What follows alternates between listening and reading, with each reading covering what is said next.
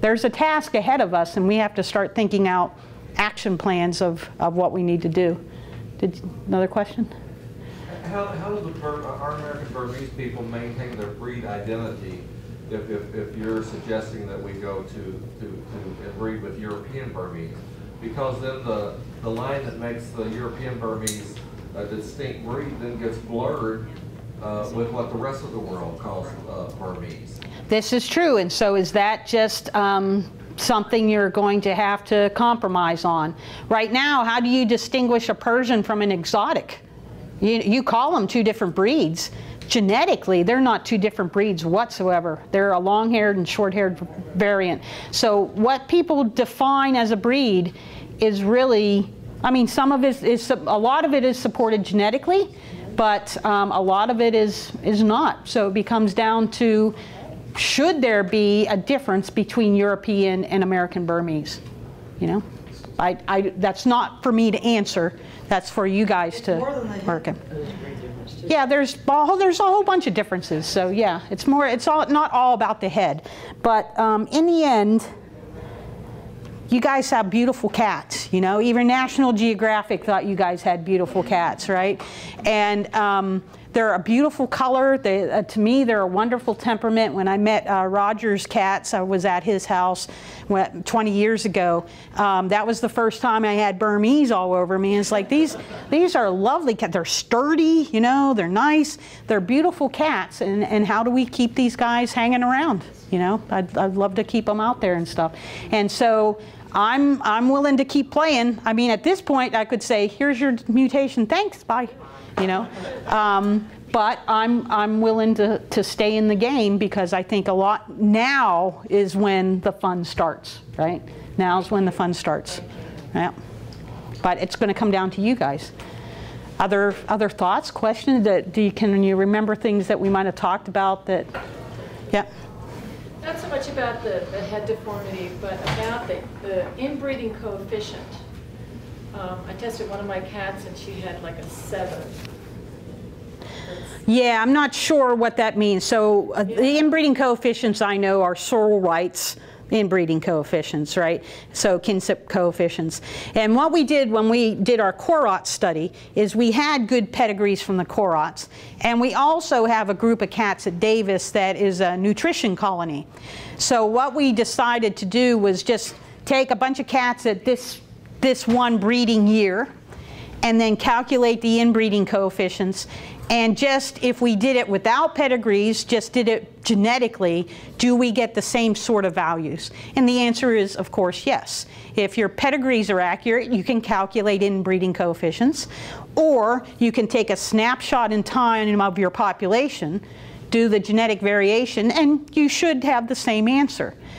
The only thing with pedigrees, some of those can be wrong right? So, um, so you might not have the appropriate inbreeding coefficient, where when you take a snapshot in time, um, that ought to be pretty accurate, right? So, yeah. On the subject of inbreeding coefficients, uh, which is an area that I was interested in, I have, on various occasions, seen a five-generation pedigree that you look at the five generations and there is no inbreeding whatsoever.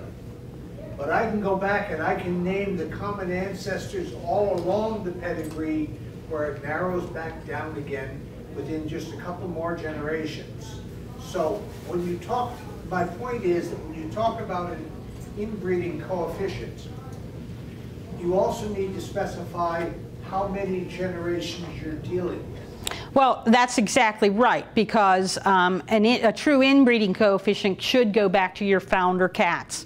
And you could see that, oh yay, look at that, five generations, I got a pretty diverse cat. You go back that next generation, you might find your inbreeding coefficient is completely different from what you thought. So again, how do you keep track of things like that? How do you make sure you have all those cats in the database? The easier thing to do is take a snapshot in time of your genetic population and get it that way, right? And regarding um, um, inbreeding coefficients, what is statistically significant in the cats that we are producing down the road? I mean, how many generations back are statistically statistically? Yeah, so, so you're basically saying what's, where, where should I stop on my inbreeding coefficient? What are you allowed to breed to? Let's put it that way. What, what are humans supposed to have permission for to, to breed with? Second cousin. Second cousin and, and forward, right? Yeah, or closer, right?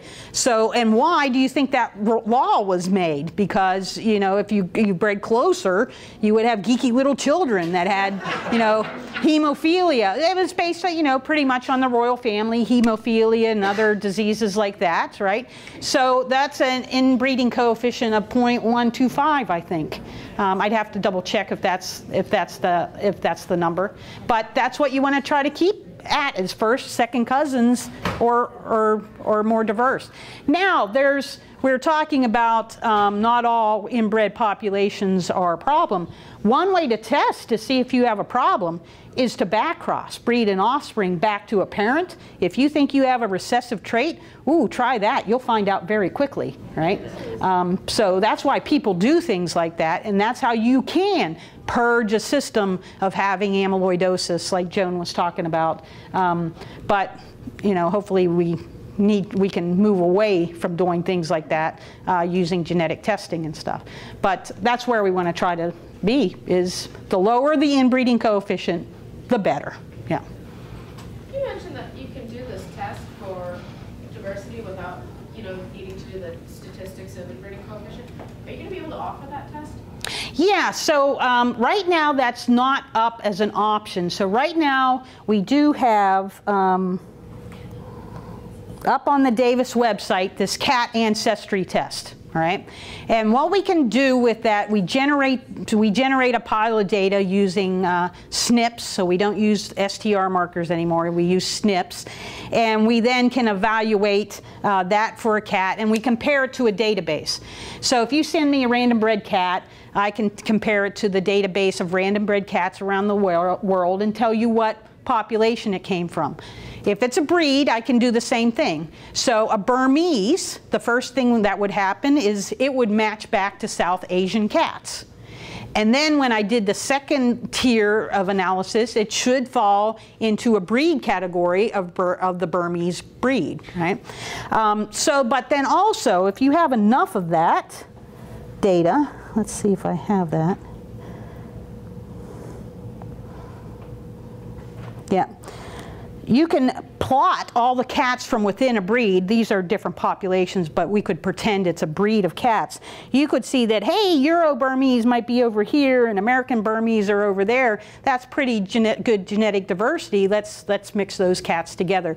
So you can get a plot within a breed of how they look as far as genetically. We don't have that up as an option yet um, as running this test, but it's the same data, it's just a different analysis.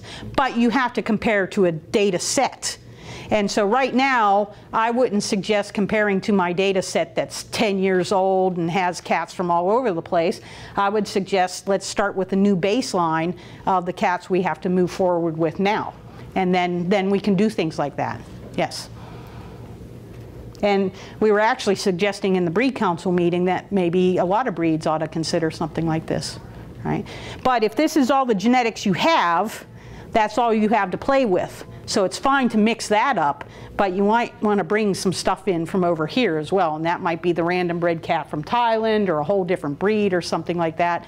So you can use this information to mix up your cats within a breed, but you need to add in new genetics as well.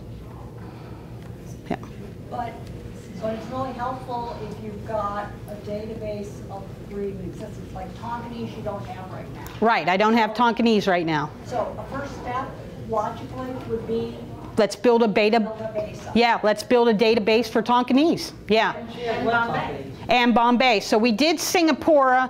Why did we do Singapore? We did we did a couple breeds because we thought we assumed they were going to be very similar, right? So we first started out the project to pick the most genetically distinct breeds.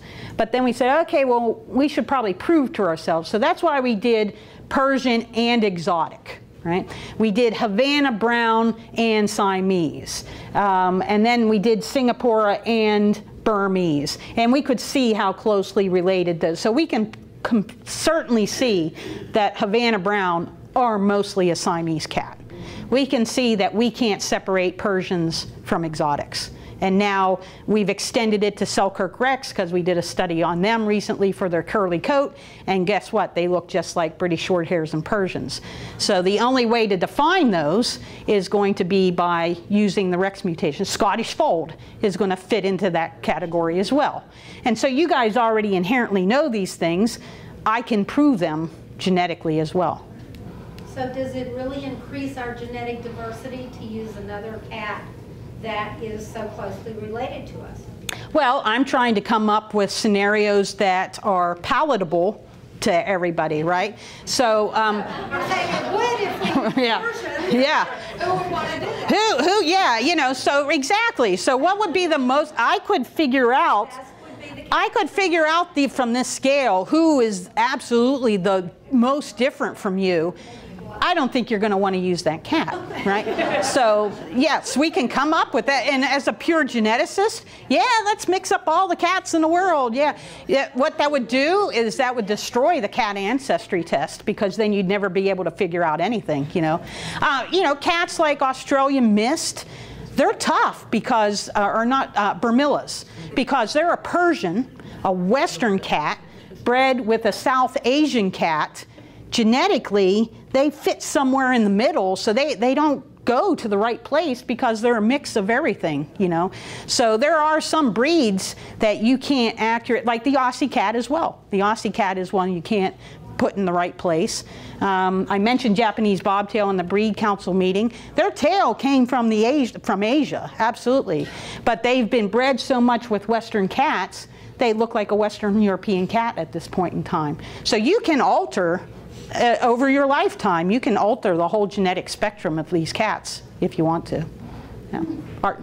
If we submit swabs to the VGL for the head defect test, are they keeping enough genetic material to be able to have those cats? do all this. Um, you know, um, we're going to have to sit down with them and, and talk this through um, because they do their DNA isolation a slightly different way. And um, so, and then we might have to be saying, okay, we need you guys to submit maybe three swabs or something like that. Um, so buccal swab DNA can absolutely be used. Um, we might have to get a few extra swabs out of it, but that's, that's no big deal, um, really, out of a cat. Um, so we'll have to, we're going to have to think through an action plan. You know, how can we get this affordable? You know? That project, is, is, is that an issue, if we wanted to do that as a group, is that an issue of funding them? I, I think for any group, yes, yes, it is. You know, yeah. Right. So you know, we got to think what what what are the real tests we need to have in there and stuff, and um, how many cats do we need for a good baseline? Historically, when you do population studies, if you have 30 cats, 30 to 50 cats, depending on the population size. And all cat breeds, you, you know, you're not gigantic populations compared to human populations, right? So, and if you look at any human population study, they'll do 30 to 50 humans because the effective population size, the population that's really actually breeding and contributing to the next generation, is much, much smaller than you think it is, right? So if you sample 10% of the population, you're getting what you need to know about the genetic variation in the population, right? So that's why you don't need gigantic population sizes to, never, even in human studies, they don't use huge populations and stuff. So um, it can be done. We have the tools to do it. May I ask